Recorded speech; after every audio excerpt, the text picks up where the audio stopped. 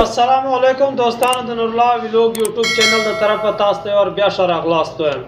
دوستانو برای ما شام چې کومه لوب اوسل امید لرم چې تاسو ټول به هغه لوب کتلی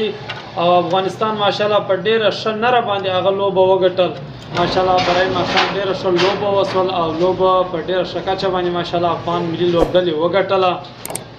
نو په لوبډلې کې بیا هم ډېری خامیانې وي خو اکثره مس بلډینګ اوس وو کینچونه خطا سول او د هغه نه علاوه چې کوم دی افغانستان ته غټه بریا اخرنی اوار کې د وفادار مومند په یو بال کې چې نو بال وو کمپیر ور نه کوي نو زه دا فکر کوم چې برای ما شام بس امپیرانو سترګې پټې سولې د افغانستان په حق کې چې مقصد نو بالې ور نه کوي کنه کچیر ور سړی ورته وګوري هغه نو بالو خو اکثره تفسیرکار به دا وایي چې مقصد هغه د فریسه څخه بار ووتی نو په دغه وجه باندې امپیر نو بال ور نه کوي نو ماښام ډېره ښه لوبه وسله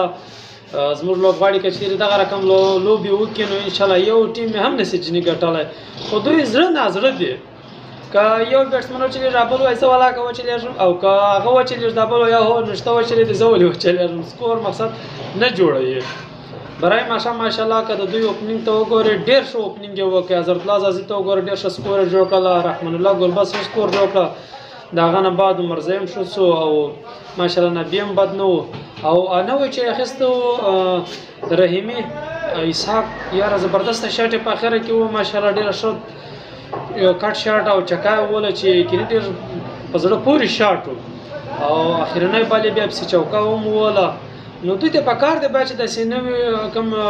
دغه چې راځي بیټسمنان راځي باید چې هغه ته چانس ورکړول سي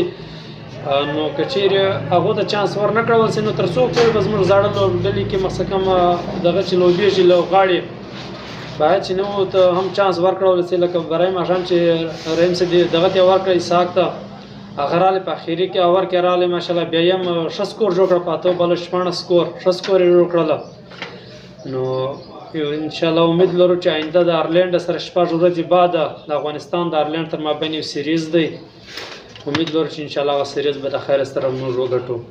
د نورو ویډیوګانو او د کرکټ په اړه معلوماتو لپاره زموږ فیسبوک پیج در سره فالو